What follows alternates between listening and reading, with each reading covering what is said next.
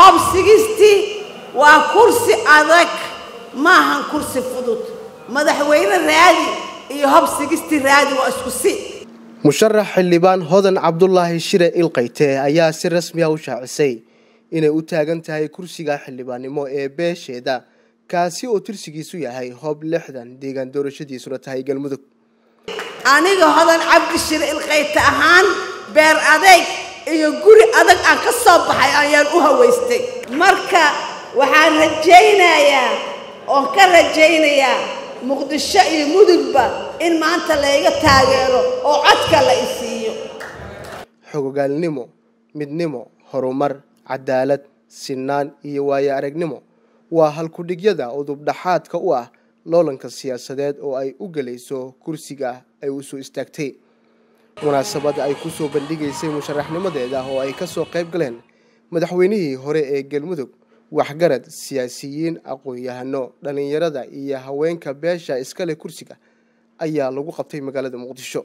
Dadkii ka hadlay munaasabadda ayaa soo dhoweeyey musharaxnimada hodan ilqayte iyaga oo u rajeeyey in ay ku guulaysato kursigan. Waxaan idinka codsanaynaa inna lagu taageero hodan cabdulaahi shire waxaana naga codsayaa in kursigaasi aan u helno haddii ilaahay ka raali noqdo. Waxaan is leenahay dadka u qalma oo astaahilay ka mid tahay xaq bayna u leedahay. Waxaana rajaynayaa dadku dadka waxaa lagu dooranayaa qof walba wixii loo arko ama waxqabadkiisii ama kartidiisii ama dad ahaantiisii lagu yaqiinay ayaa qofka lagu dooranayaa waxaan rajaynaynaa in dadka kursiga hoob lixdanka iska lihi inay haddii ilaa yidhaahdo ku dooran doonaan. Waxaan soo jeedinayaa maadaama gabadhan walaasheena oo qoys caan ah oo bulshada soomaaliyeed oo dhan caan ku ah ka soo jeeda. Isla markaasna aan ahayn gabar cusub aan guri ka keenayna ee ay tahay gabar ka soo shaqaysay galmudug ee ka soo dhex baxday ummaddeedii. Maanta waxaan qabaa inaan garab siino waxaan aad ugu faraxsanahay maanta inaan ka qayb galo musharaxnimada gabadha walaasheen ah oodan shire ilqayte oo ah oo ka ah hormuud halgamaayaasha gabdhaheenna. Dadka hormuudka ka ah ku jirta.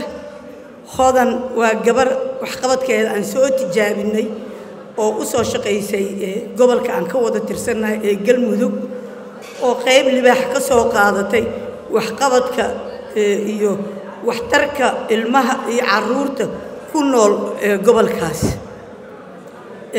Waxaan ognahay in kursigan matalaad fiican ilaa maanta uusan helin.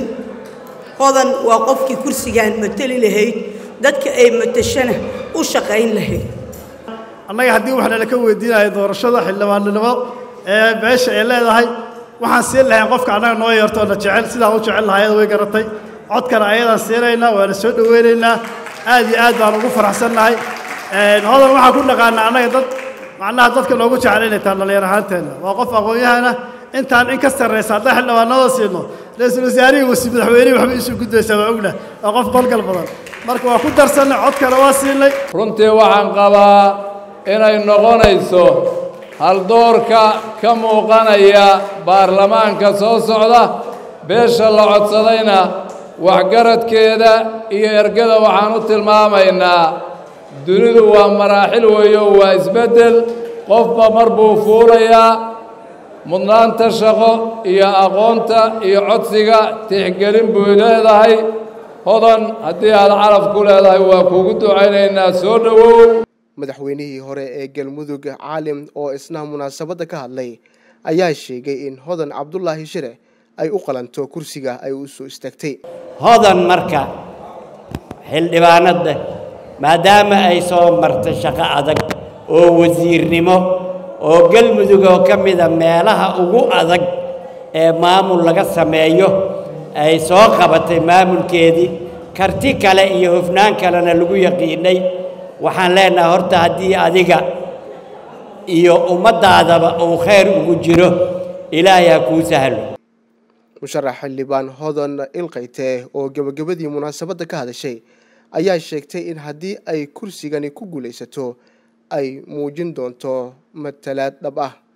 Waxaan idiin ballan qaadayaa oo ilaahay hortiisa idinkugu ballan qaadayaa kursigaan matalaad la'aanta haysay inuu ku soo noqon doono saaxadda siyaasadda ceelguuda iyo ceelgudurna imaan doono.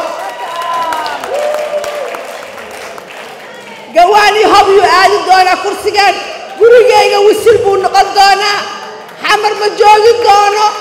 Waxaa idiin ballan qaadayaa ani odayaasha kama horreeya waa ka dambeeya. Musharax xildhibaan hodan cabdulaahi shire ilkayte ayaa horey u soo noqotay wasiirka wasaaradda haweenka iyo xuquuqul insaanka galmudug haatanna waxay u taagan tahay mid ka mid ah kuraasta xildhibaanada baarlamanka federaalk ee soomaaliya ee laga soo dooran doono deegaanada galmudug. Zakariya axmed muuse t v-ga shabeelle muqdisho